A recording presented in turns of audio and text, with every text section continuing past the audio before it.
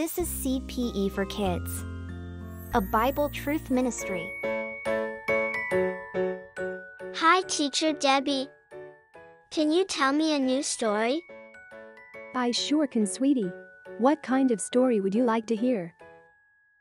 How about a scary story? Yes, tell me a scary story. If you insist.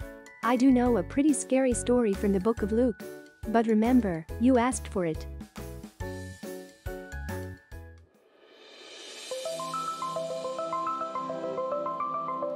It's story time for kids.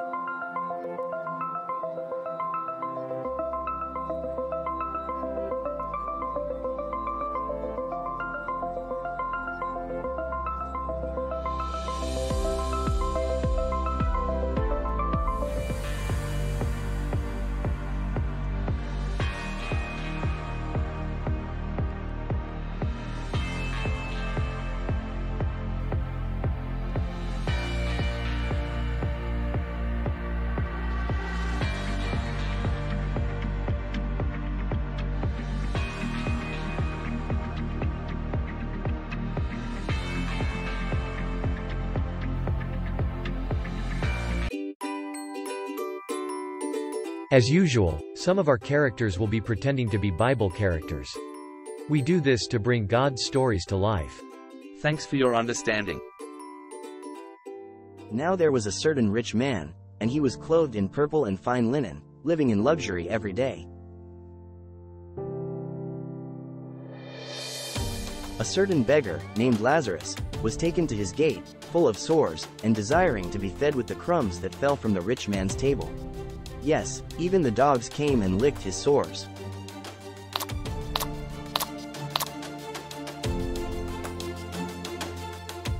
The beggar died, and he was carried away by the angels to Abraham's bosom. The rich man also died, and was buried.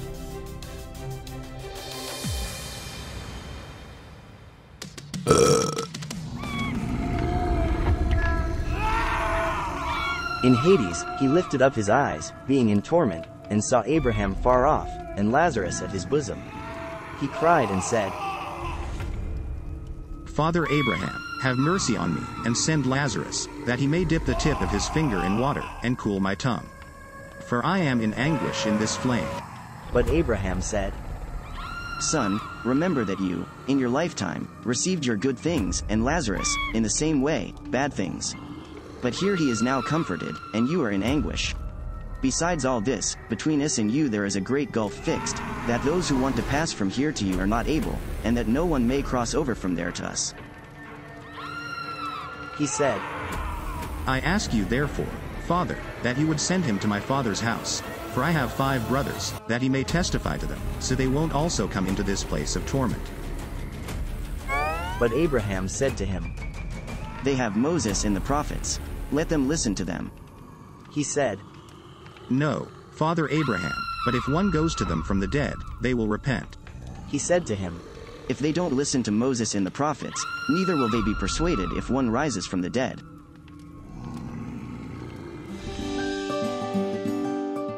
I told you it was a scary story. What was that place where that bad guy was at? We call that place Hades. It's where unforgiven sinners go to because they didn't want God's forgiveness. Why don't they want forgiven teacher Debbie? Mostly because people are stubborn and disobedient. Also, most people are too busy entertaining themselves rather than be concerned about their eternity. Please, kids, take it serious. We need to make peace with God, that way we won't go to that place where the bad guy was. We must realize that we are sinners, we do everything bad, and God is very angry with us. However, God is merciful and forgiving. He sent his Son Jesus to earth, and he was put to death on a cross to pay for all the sins we will ever do in this lifetime. However, forgiveness is not automatic. We need to ask Jesus for God's forgiveness, and then we need to receive it. It's a free gift. We need to stop trying to be good to get to heaven and simply admit we have failed and need a Savior. Jesus died to be our Savior and rose to be our Lord.